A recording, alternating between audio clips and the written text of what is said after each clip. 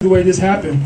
It's kind of like a God thing. We uh, after the uh, church service, after the Christmas service last week, I came down, and half the kids were on the stage, and they were down here doing some things I'd heard them do, but all in harmony sounded awesome. And I said, we have got to do that. So uh, first off, I just want Mr. Elijah just to show a little bit, bit of what he can do. Go ahead, brother. Right? All right. We don't have. I, uh, I guess this is called "We're the Yoke Breakers." Are y'all ready?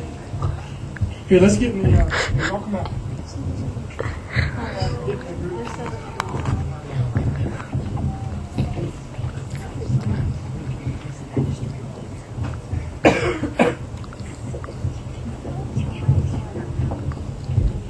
Y'all ready?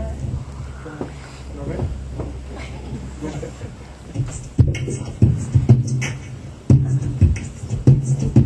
Here we come. It's the yoke breakers. Here we come. Yeah, it's the yoke breakers. Here we come. Watch out, devil.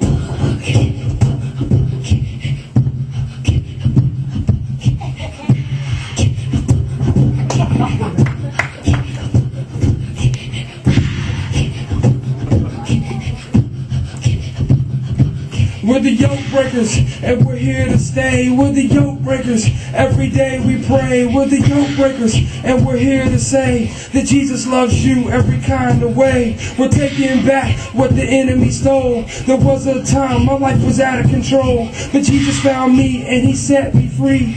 Gave me the yoke breakers, and the devil he fled. We're the yoke breakers, and we're here to stay. We're the yoke breakers. Every day we pray. We're the yoke breakers, and we're here to say that Jesus loves you every kind of way. There's Elijah, Luke, and Myron, Riff, LaCourt, and Whitney going into battle. Got my soldiers with me, got the word in our hand, and we're not ashamed. Doing it all for Jesus, and we're doing it not in vain. It's the yoke breakers, and we're here to stay. It's the yoke breakers. Every day we pray. It's the yoke breakers, and we're here to say that Jesus loves you every kind of way. We're the yoke breakers, and we're here to stay. We're the yoke breakers. Every day we pray. We're the yoke breakers, and we're here to say that Jesus loves you every kind of way.